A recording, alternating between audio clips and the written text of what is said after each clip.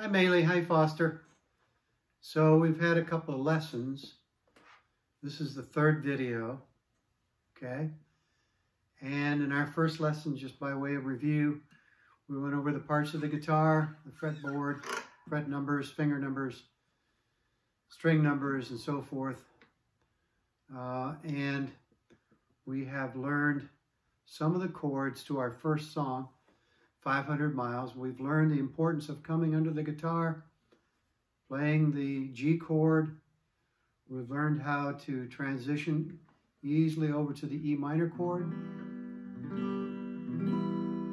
And I even talked to you about transitioning from the E minor chord down a, a string to the A minor with the second finger or first finger on the first fret of the second string. Okay. Okay, so we've we've really talked about G, E minor, A minor in the second video, first and second videos. Now, now we're going to make the transition from, we're going to talk about E minor again to A minor. Then we're going to go to the C chord from the A minor chord which is very easy, okay? Okay, so G to E minor.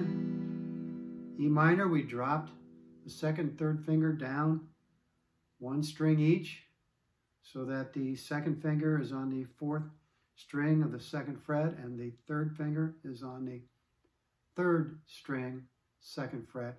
And we took this first finger and we put it on the first fret of the second string. Now we got to go from A minor to the C chord. We're in A minor now. Now we got to go to the C chord, and you're going to like how easy this will be. All we're going to do is we're going to take this third finger and we're going to lift it up. We're not going to move the other fingers. And now we're going to put it, this third finger, from where it was to the fifth string, third fret. So it was down here for A minor.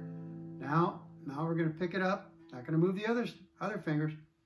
And we're going to go from down here. We're going to go up to the fifth string, third fret. Now you have the C chord. And again, like the A minor, you're only strumming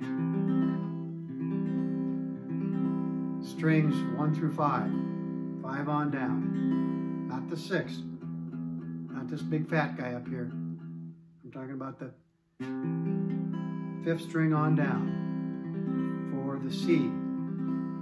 So we have learned the G to E minor, to A minor, to C. Okay. Now in the song then, after C, we're going to go right back to A minor. How do we do that? we take, all, all we got to do now is move this third finger again, back, down under the second finger to the third string, second fret. There's A minor again. See how easy that is? C, uh, let's, let's go. A minor, C, A minor, C, A minor. But what you want to practice now is that transition back and forth.